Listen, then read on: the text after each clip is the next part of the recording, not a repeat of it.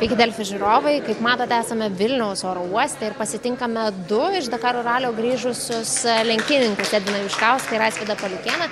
Tai yra pirmasis Lietuvos ekipažas sugrįžęs. E, Deja, vaikinai Dakaro ralio neužbaigė, tačiau turime progą e, iš jų pirmųjų sužinoti, kaip atrodė tas šių metų Dakaras ir kasgi jame įvyko. Ir kaip matote, jie abu gavo simbolinius gesintuvus kaip ženklą to, kasgi nutiko Dakare, nes šis ekipažas buvo patyręs ir gaisrą. Ir... Gesintuvai yra. Tai sekančiams metams pasiruošę, jeigu gesintuvai yra jau, nes mūsų tuščias. O tai reiškia, kad bandysite važiuoti ir kitą metą į Dakarą? Labai norėsi, norim važiuoti, e, o kai noras yra, tai bandysim rasti ir galimybės. Iš tikrųjų, nes darbo, kurį planavom, nepadarėm, tai reikės grįžti padarytą darbą. Bet aišku, dar reikia, kad organizatoriai paskelbtų, kad jis tai tikrai bus Dakaras, kad mes viską susidėliotumėm vietas, bet manau labai daug procentų, kad mes grįšim ir užbaigsim tą darbą.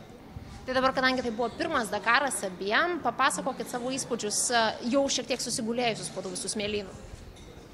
Fainai, kad iš tikrųjų teko visko paragauti, kopų irgi teko paragauti, gal ne tiek, kiek dabar paskutiniuose greičių rožiuose, bet iš tikrųjų viską pamatėm, Ir nu, vis tiek nemažai dienų nuvažiavom iki, iki, iki savo gaisro. Tai po to dar važiavom iški po gaisro. tai kaip ir viskas, viskas, viskas fainai. Šiaip neišgazdino, traukė atgal. Aisvidojo pančiam šturmanavimas šitame Dakare. Kaip atrodė viskas, sėdint ten, kur tu ir norėjai? Šiaip apie įspūdžius dar kalbant, tai aš jau, aš tai, pažiūrėjau, pasilgau Dakaro jau, noriu Hilks atgal. O šiaip šturmanavimas, aš manau, kad e, kaip pirmą kartą gal ir neblogai, bet e, visą laiką yra kur tobulėti ir manau, kad kitais metais tai daugiau žinosim, kam ruoštis ir, ir, ir manau, kad bus geriau. E, tik tai, tai va. Kalbant apie automobilį, kadangi uh, buvusias Vaido žalos automobilio problemos išlindo ir jums, ką darysit su juo? E, tai dabar tvarkysim, o po to galvosim, žiūrėsim.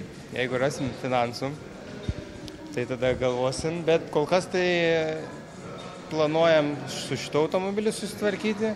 Kaip ir sužinojom jo bėdą iš tikrųjų, jau galutinai viską įsiaiškinom. Tai kaip sakyt, susitvarkysim, bus matyti dar dėl automobilio. Ar paaiškėjo, kodėl buvo tas atsiradęs na, tepalo bėgimas iš pavarų dėžės? Tai tas aiškumas toks, kad su pavarų dėžė, gal į smulkmenas jau nelysim, daug ten tų niuansų buvo, bet sekančiais metais tai važiuosim su dviejom greičių dėžėm. Pasiruošit kaip reikiant, kitaip tariant. Ruošiamės kaip reikiant. Kas dar yra iš tų Dakaro pamokų, būtent po pravažiavimo, nes įveikė didžiąją dalį šiaip Dakaro, labai buvo nedaug likę? Pamokų, kad gal kai kuriuose vietose reikia ir ramiau važiuoti, atsirinkti savo tempą. Mes gal jį ir beveik buvom atsirinkę, bet po to, po jau mūsų gaisro, kai važiavom neįskaitai, tai tiesiog iš tikrųjų irgi žiūrėjome visas galimybės pasitikrinom, kaip ir ant šono reikia, kaip, kaip greit reikia susitvarkyti ir kad grįžti į trasą. Bet aišku, jau susitvarkius grįžti į trasą vėl išlindo, tai jau nerizikavom antrą kartą užsidegti, nes gesintuvai buvo apytuščiai. Tai dabar jau turime, tai kaip ir, kaip ir. Tai va, tai ten jau, kaip sako, iššūkis nelaikui buvo, ten tiesiog jau važiavom iki kelio kažkaip, tai tas kasimas toks ne, nevarginantis buvo. Tai... Kadangi jau mes važiavom jau neįskaitai ir tą tiltą, kai išmušė, tai teko pasikast biški, bet jo, tas kasimas toks nelabai skubėjom, nes jau nebuvo kur skubėti iš tikrųjų. Tai dabar esat vadinami perspektyviausiais Dakaro naujokais, na, kalbant apie Lietuvą. Šitas titulas toks įpareigoja? Geras, net nežinau šitą titulą.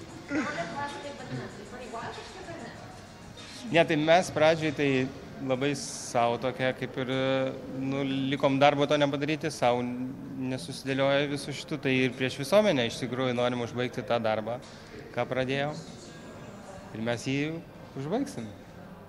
Bent jau, turime... bent jau pradėsim tą etapą, kad tu pabaigti. Jo. Ne, ne, važiuosim, kol užbaigsim. Tai dabar jau prisidavę turim oficialų pažadą, kad 21 metais mes jūs pamatysim Dakare. Mm, gerai, jeigu procentais 90 procentų, kad pamatysit, nu 10 pasilieku procentų, nežinau, nu visko atsitikti gali gyvenime. Tai kas dabar laukia grįžus į Lietuvą? Treniruotės, poilsis, ką darysit pirmiausia? Šiais metais jau treniruočių gal turėsim, nes ir laiko, nes praeitais metais mes tik balandžio mėnesį iš pirmą turėjom. Susipažinom. Susipažinom apskritai, tik pradėjom visą programą savo. O šiemet susidėliosim planą, tikrai važiuosim į, į ne į Lietuvos, į kažkokias tarptautinės varžybas. Vienas kitas, nežinom dar kiek tiksliai, bet, bet tikrai ruošiamės daugiau negu ruošiamės praeitais metais. O sako, kad į perimetrą bandysit važiuoti, ar tai yra tiesa ar ne? Ir žiūrėsim, su perimetru į pirmą etapą nespėja automobilis grįžti, jis dar plauk- plauks, o po to dubliuojasi su kai kuriomis e, tartautinėmis varžybomis.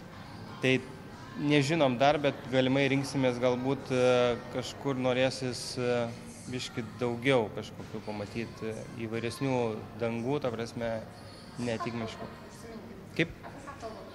Tai apie Bachas, apie, apie Maroką galvojame, apie Alžyrą. Labai daug dabar yra toksai visas kalendorius reikės dėliotis. Aisidas dar turi irgi kitų varžybų su, su klasikiniu raliu. Tai dėliosimės grafikus, žiūrėsimės ir, ir, ir bus matyti.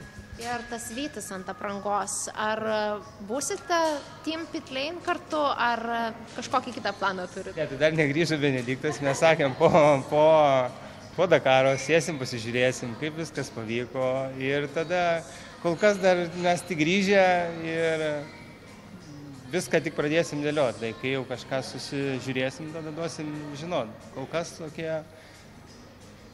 dėliojame. Ačiū Jums. Ačiū. Ačiū. Nu ką, Na kągi, duoklė šeimai, kadangi pasitikti atkeliavo sportininkų ir tėvai. Štai matote Arną Paliukieną, Aisvido tėtį ir na, visa šeima kartu. Edvinas Iškauskas turės dar grįžti šį vakarą į Kauną. Tai ačiū Jums buvusiems kartu, žiūrėjusiems transliaciją. Pasitikusiems draugės su Delfi sportininkus ir aš noriu priminti, kad jau rytoj 10 val. ryte galėsite matyti e, ne tik praėjusio Dakaro greičio ruožo apžvalgą, priminimą, bet ir kartu pasitikti finalinę Dakaro ralio greičio ruožą. Ačiū Jums ir iki.